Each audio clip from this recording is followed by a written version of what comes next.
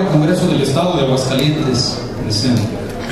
La suscrita Comisión de Gobierno, en ejercicio de la facultad que le confiere el artículo 58, fracciones primera y segunda de la Ley Orgánica del Poder Legislativo, comparece ante esta soberanía con el objeto de someter ante su consideración el acuerdo legislativo relativo a la solicitud planteada por el ciudadano ingeniero Carlos Lozano de la Torre, gobernador constitucional del Estado de Aguascalientes, mediante iniciativa con proyecto de decreto que promovió en ejercicio de las facultades que le conceden los artículos tercero, 30, fracción segunda, 36 y 49 de la Constitución Política del Estado de Aguascalientes, así como segundo, tercero, décimo, fracción tercera, treceava, treceavo, fracción octava de la Ley Orgánica de la Administración Pública del Estado de Aguascalientes y que propone rendir homenaje a la Fuerza Aérea Mexicana, inscribiendo su nombre con letras doradas en el Salón de Sesiones Soberana Convención Revolucionaria de Aguascalientes del Honorable Congreso del Estado al tenor de los siguientes antecedentes. Número 1. El 8 de octubre de 2014 la Diputación Permanente conoció la iniciativa en referencia. Número 2. El día 13 del mismo mes y año, dicha iniciativa se turnó a la Comisión de Gobierno para los efectos de su trámite en términos de ley. Número 3.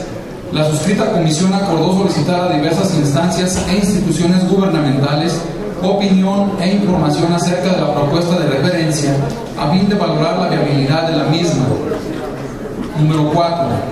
En virtud de lo anterior, se llevó a cabo la segunda sesión por parte de la suscrita comisión a fin de valorar toda la información que se recabó con objeto de proceder a la ponderación de la misma y plasmarla en la presente propuesta de acuerdo legislativo en calidad de argumentos y sustento de dicha propuesta. El objeto de la iniciativa consiste en expedir el decreto mediante el cual la sexagésima segunda legislatura del Honorable Congreso del Estado de Aguascalientes formule un merecido reconocimiento a la importante tarea que a lo largo, de su tiempo, del tiempo ha efectuado la Fuerza Aérea Mexicana, la cual, junto con el Ejército Mexicano, son pilares en la defensa, salvaguarda y auxilio de nuestra nación. Razón que justifica considerar la posibilidad de que su nombre quede inscrito con letras doradas en el Salón de Sesiones Soberana Convención Revolucionaria de 1914 del Poder Legislativo, compartiendo el muro de honor con los ya existentes y que refieren la vida y obra de aguascalentenses distinguidos en las diversas artes, además del correspondiente a instituciones de educación superior que han dotado al Estado, a México y al mundo de profesionales destacados en las diferentes áreas del saber humano. Ello no sin dejar a un lado la notable y heroica labor del ejército mexicano, cuyo nombre actualmente forma parte del referido muro de honor. Determinación de la comisión. Consideramos conveniente hacer una breve reseña en cuanto al origen y destacado desempeño de la Fuerza Aérea Mexicana, la cual ha redundado en gran beneficio social y para ello nos complace mencionar primeramente que su origen está en el año de 1915, cuando el entonces jefe del, ejército constitucionalista, don Venustiano Carranza, convencido de las enormes posibilidades del empleo de la aviación en campaña, expidió el 5 de febrero de 1915 el decreto mediante el cual se crea el arma de aviación militar. Fue en el año de 1944 cuando se reconoce la Fuerza Aérea a nivel constitucional y en el año de 1992 se declara al 10 de febrero como Día de la Fuerza Aérea Mexicana.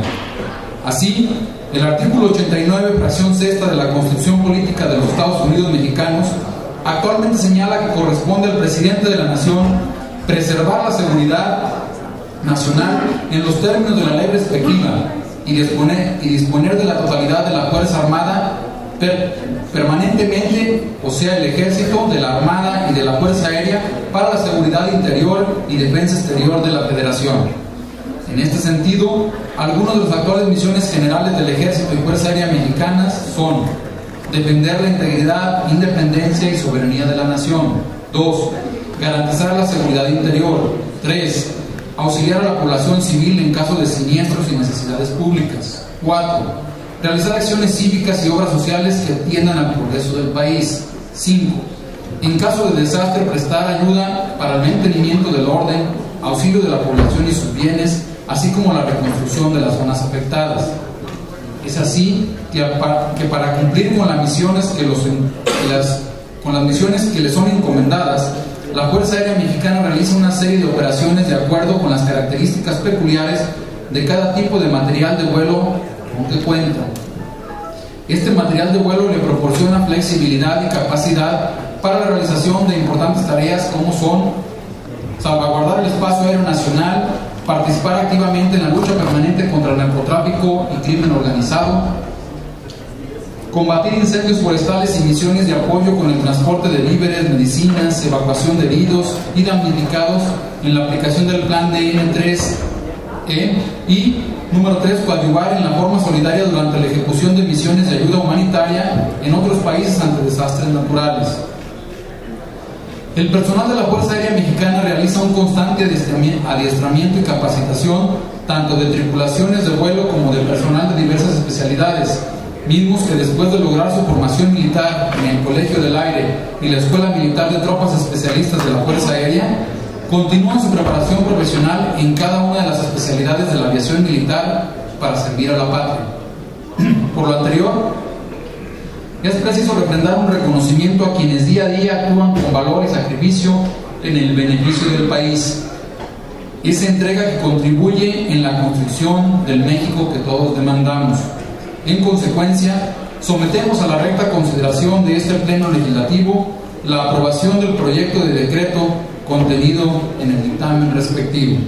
Sala de Comisiones del Honorable Congreso del Estado, Aguascalientes, Aguascalientes, 6 de enero del año 2015 Comisión de Gobierno, diputado Jorge Barona Rodríguez, presidente, diputado Adolfo Suárez Ramírez, secretario, diputada María de los Ángeles Aguilera Ramírez, vocal, diputada Juan Alicia Espinosa de los Monteros vocal, diputado Guillermo Luis Luis Esparza de Alba, vocal, diputado Cuauhtémoc Escobedo Tejada, vocal, diputado Jesús Rangel de Lira, vocal, y diputado, ¿es cuánto, diputado presidente? Gracias, compañero.